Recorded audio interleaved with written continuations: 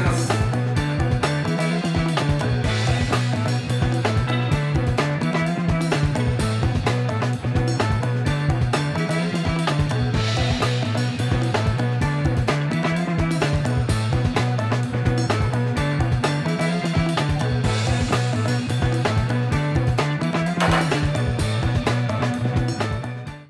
でも山ハイの割に飲みやすいっていうか、はいはい。ちょっと山ハイ感あるっすけど、い。そこまで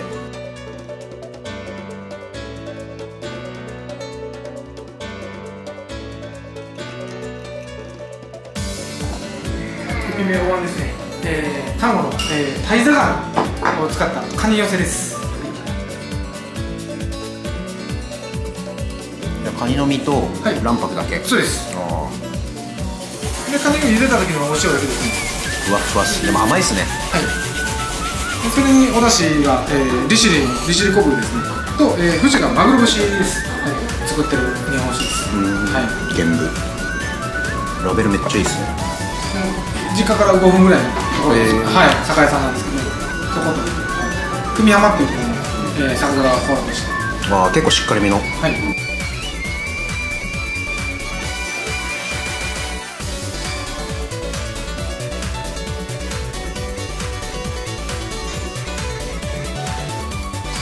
日本で1%未満って言われる杉樽で作って杉樽で3年熟成させた無添加の醤油ですお上品な感じですよね。そうですねはい。で血抜きしてるんであのいやらしいそのあの血の感じも全然多分ないと思いますいくらです？取れたその日に仕込んでるぐらいですね、はい、で市場流通はゼロです、え。ーはい。単語でしか消費されないんではい。普通の醤油漬けなのに卵黄感がすごい。イクラの油の含有量が相当高いこれも日本海のはい。朝海の。あそうあそうかはい。なぜならやわこれも柔らかくなるんで。はい。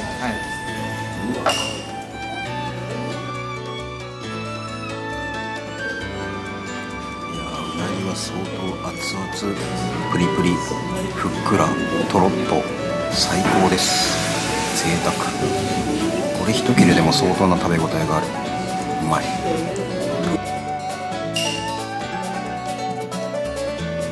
控え系だけどキレがあって切れ味は好き。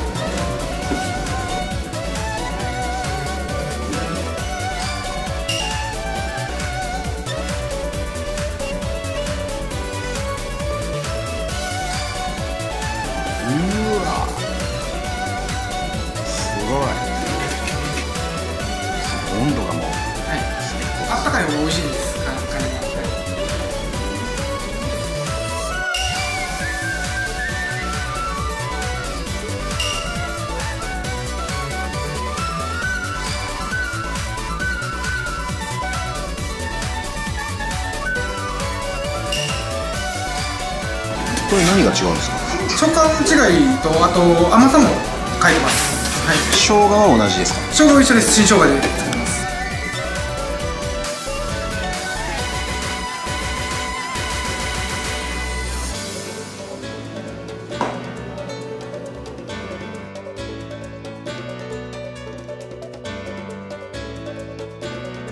大丈夫この焦げ目は何ですか？はい。直接炭を当てて炙ってます。肝を炙ってるんですか？肝を炙ってます。初めて聞きました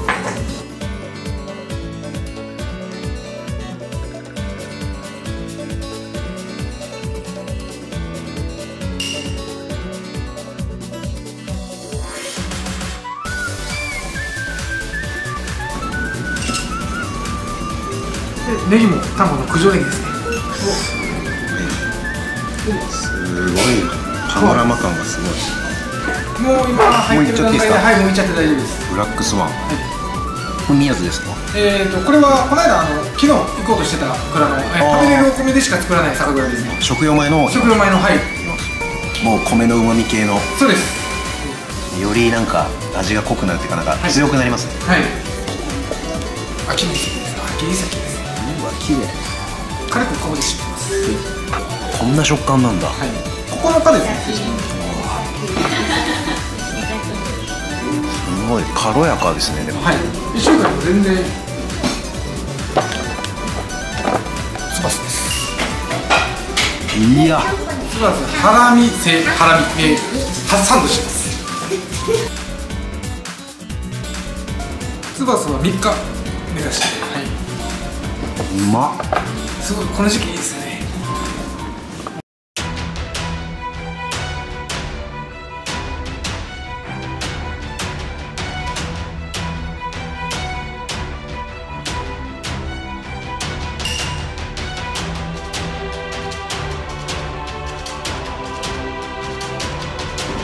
口どけがすごいスムーズですね。はい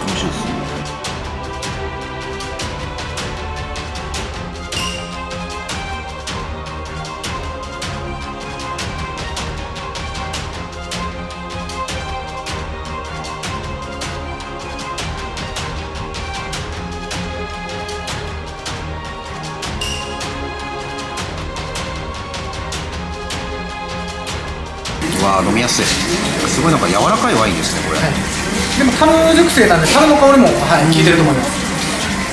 確かに。はい。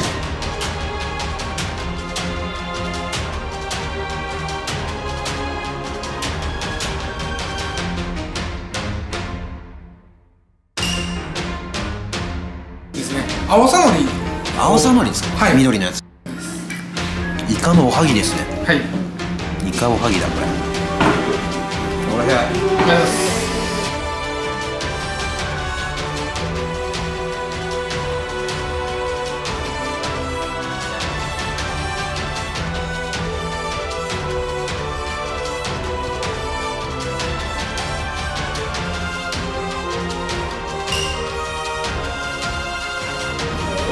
先ほどのアテとはちょっとあの味付け変えてます。ええつまみはだしでつけてますこれはだし入れてないです。醤油でシンプルな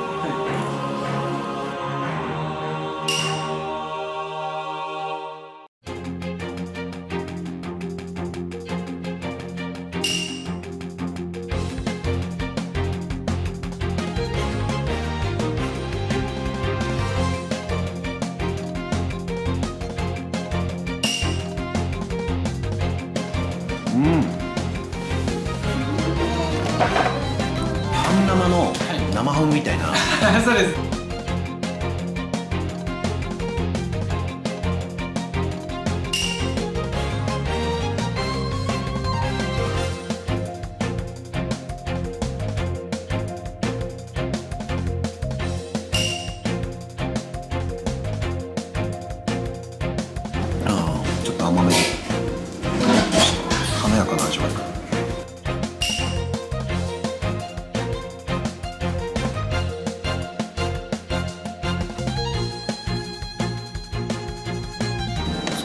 島味です。うわ。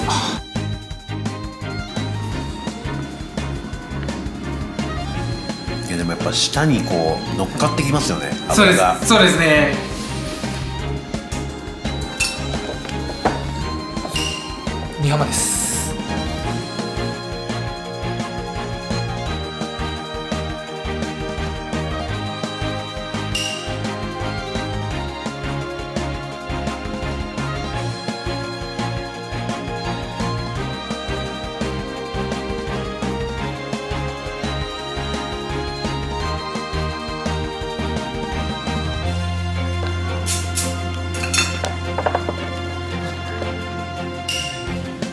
スノガツムです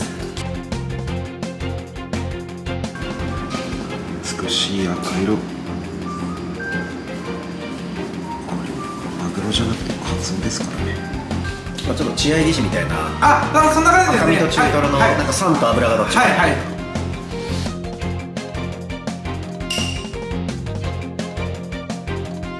熟成ちょっとかけてるんでそれでサンドしてたんですけど今度は鮮度がいいんであえて腹だけのあの一番脂が乗るある部分に函館近海の北紫雲です。さっきのは？さっきのは北方の馬本です。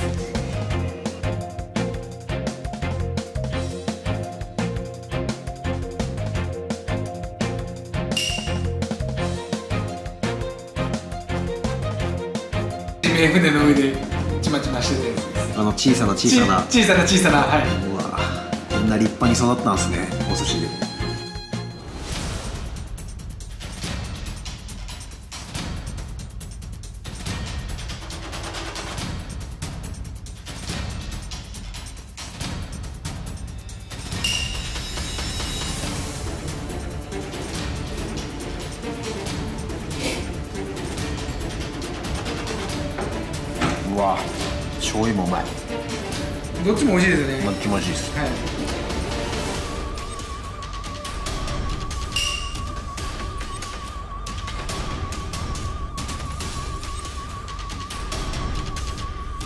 例のこのシリーズ。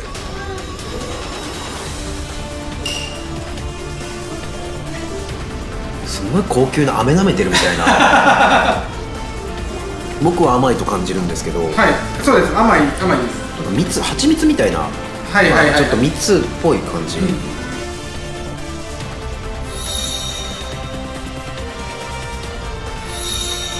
卵一こだわった日本酒を作ってるくらいだと僕は思ってますすすごいおしゃれですねラベルが。もう本当に世界観が独特で香さんの、はい、はい。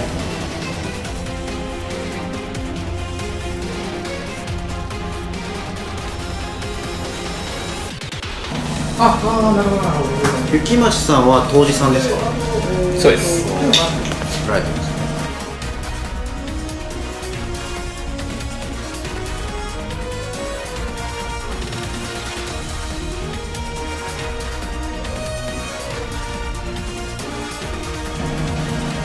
2段階。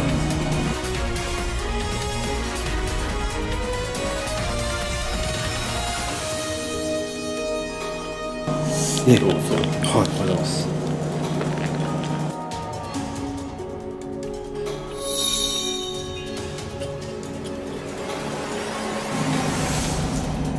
本当にぶっ飛んでます。これすごい。何これ？おしゃれっていうか。その日本酒を飲んでもらうためにグラスまで特注で。ええそうなんですか。このグラスは坂戸さんのオリジナルグラス。本当 ID としか書いてないですね。はい展示？これも ID それもはいええ。展示が入ってるラベルなんてあるんです。かここ以外。に見たことない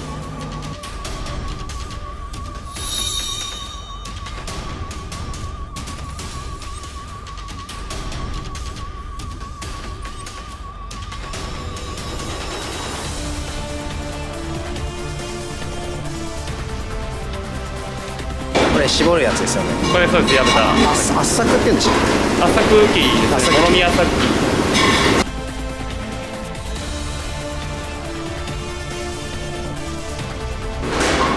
3兄弟皆さんそれぞれで独自のはい。お酒を作られてるんです。ねそうです。いいですね。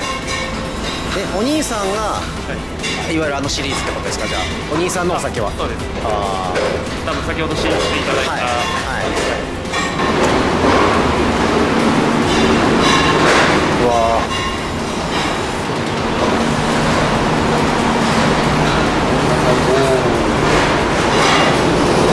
これまだあの三段仕込みの、まあ、1段階目がそれ仕込みなんで量は少ないです。けど、今踊りで、えー、と酵母をあの増殖させてるっていうこれってタンクにその入ってから実際に絞るっていうか、いまでどれぐらい入ってるんですか？大体1ヶ月ぐらい。1ヶ月前後。早くてまあ20日ぐらい。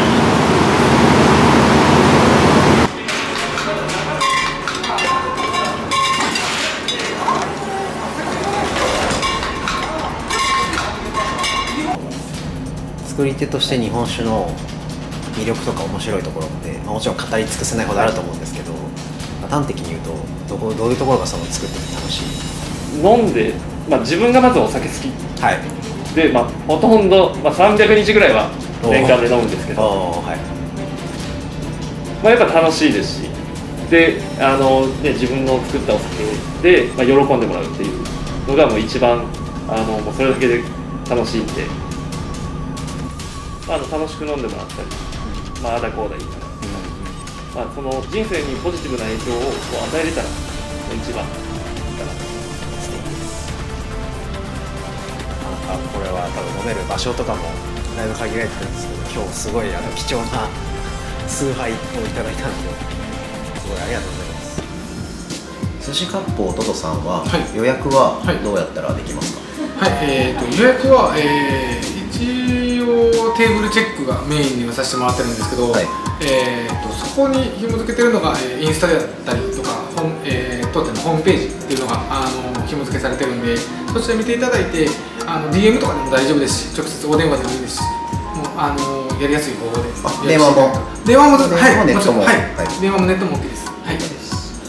今、はい。お任せ？はい。とか、まあ、いくつかプランがあるも含めて、はい。どれぐらいの金額感でやってらっしゃるんですか？えーとそうですね、えーお寿司のコースが一番オーソドックスなお寿司のお任せコースが、えー、2万5000円税込みでさせていただいてます。で今の時期だけ、えー、単語といえばあのカニっていうところがあのカニのコースカニと寿司と合わせたコースで、えーお二人様で1杯っていうコースをやってましてそちらの方が、えー7万円から。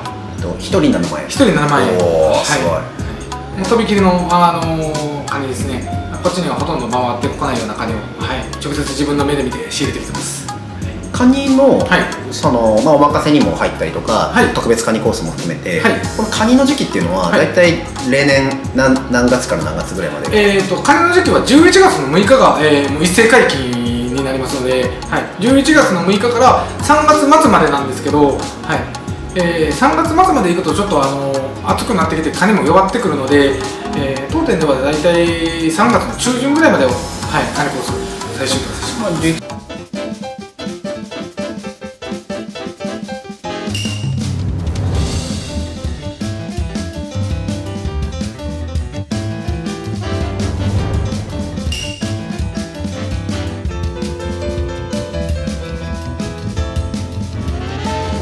また煽りと全然違いますよね。ねはい。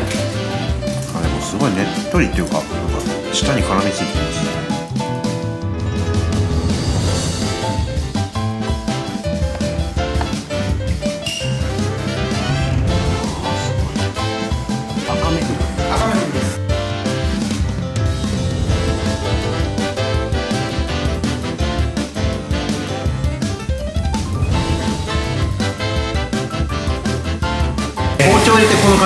包丁入れてこの感じです。両面に包丁入れてこの感じです。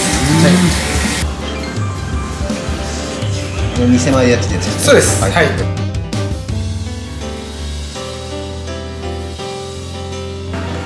砂がつく笑いです。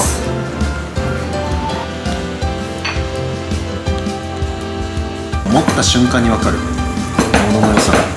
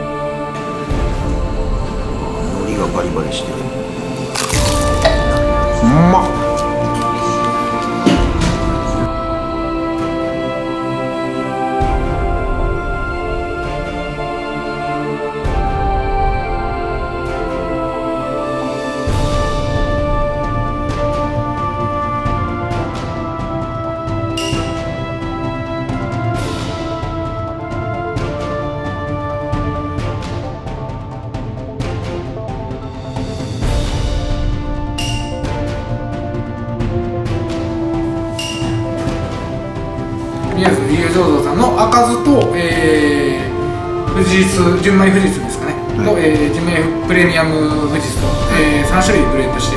でお塩が、えー、お魚が取れるあのお魚を取りに行ってるメインの漁港ですね、はい。夕日ヶ浦のお塩っていうのが卵にありましてそこのお塩で作ってます。砂糖入ってないですか？砂糖は一切入れてないです。卵平飼いの卵とあとジャージー牛の生クリームですね。これも卵の、えージャージ牛の生クリームとタンゴの牛乳で作った。デザート感覚の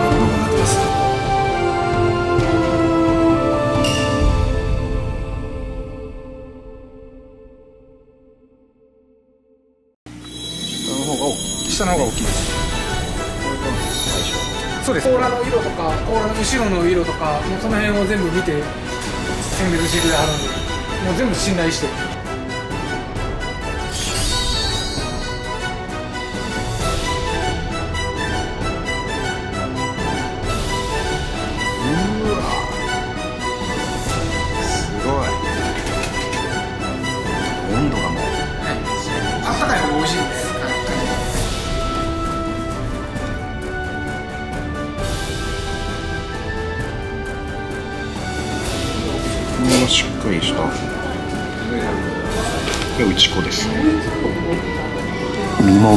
打ち粉も外粉も味噌も足の肉も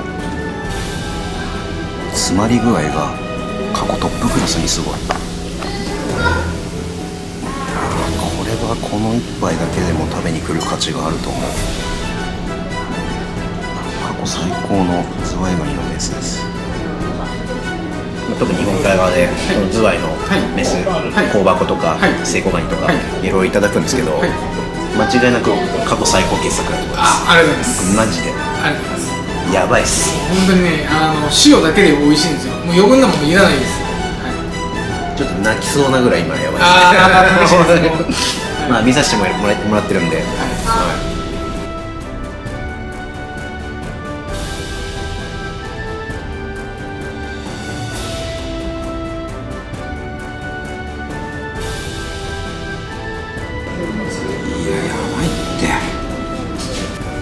ってなんで今器を温めてたんですか？あのカニが温めてあったかいんでカニ冷め冷めないシャリもあったかいんで。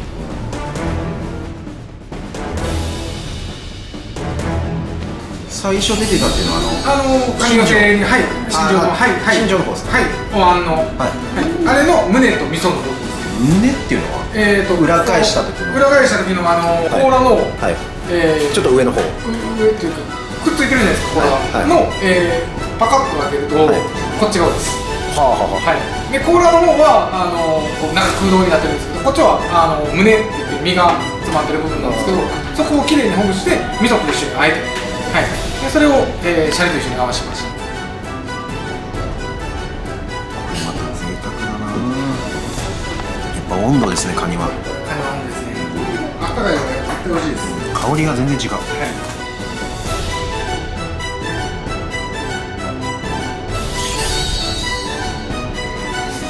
本当カニが住んでる海域に潜ったかのような体験ができる味わいというか。ありがとうございちょっと何言ってんだって話ですけど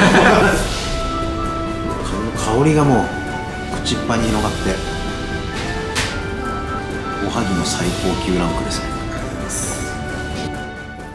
いやでも大将本当にごちそうさまでした。ありがとうございましそしてあのお忙しい中たはい。密着させていただいてあい。ろいろ現場を見させていただいてい非常に勉強になりました。ありがとうございました。こちらこそありがとうございます改めてその、はい。お店は兵庫にあるけど、はい。えっと、ご実家のその単語エリアのはい。食材でほぼ揃えるっていう、はい。なんかそのあたりのこうこだわりだったりとか,、はい。なんかその単語エリアへの愛みたいなところをはい。改めてこう語っていただくとすると、い。なんか単語大将にとってその地元の単語エリアってはい。どんなところですか、やっぱり小さい頃から、あのーずっとその丹後の食材を食べてきて毎日のようにこう海の食材お作りだったりとか、そういうのを食べてきてすごいいい地域やなっていう旅行とかで他府県に行ってもあ丹後の食材の方が美味しいやんって思うことがやっぱ多々あってそれってすごいことだなと思って誇れることだなと思いますし、えーそれをもっともっとこう知らない方がまだまだ多いと思うんでそれをちょっとでもこう発信していけたらなっていう思いで、あのー独立させてもらってこうやって寿司屋させていただいてるんですけど。も本当にあのカニはとしびれました。う一度食べてほしい食材の一つなんで、は食べ慣れてる方とかカニ大好きな方でこう食べ歩かれてる方多いと思うんですい、けど、はいはい。ちょっとまた一個他のお店もちろん素晴らしいし、はいはい。まあどのカニも美味しいんですけど、はいはい。まあ、ちょっと規格外というかありがとうございます。本当にあの身の量というかはい。自己外この量とか、はいまあ温度含めた、あのすんごいジューシーな感じ。はいはい。水分量がすごいあったというか、はいそれはやっぱり昨日も見させていただきましたけど実際その現地のい。本当にカニが美味しいエリアの、はい。かつカニ専門でやってるはい。カニのプロフェッショナルの方との、まあ、信頼関係そうですね。も含めて、対処ももちろんすごいけど、い。やっぱその後ろにいるうん。いろんな現地の生産者の方との、まあ、関係性作りも含めた、はいなんかこう壮大なバトンがはい。今自分の目の前に置かれたっていうところで言うと、い。やっぱりちょっとグッとくるなっていう。はい。しやっぱそれだけ安いものではないなっていうのは、はい。はい。まあ、むしろこれでも多分ね、はい。パッと見の金額で言うともちろんすごい高級感あると思うんですけど、はい。それだけ手間だったりとか、はい。よりすぐりのものが出てきてるっていうところで言うと、はい。はいやっぱりちょっとなんていうんですかねパンチのあるお店なのかなっていうのを、はい。感じたので食べ歩いてる方こそか来てみると、い。多分トトさんすごい余計に面白くはい感じる方多いんじゃないかな。はそれは本当に思います。来ていただきたい。そういういろんなところに行ってる方こそうちに食べに来ていただけたらはい。でもすごくなんか愛のあるお店だなって感じた。のでまた季節変えて生産者巡りも含めて、はい。またぜひご一緒させていただければと思います。はい。今回本当ありがとうございました。ごちそうさまでした。はい。ありがとうございました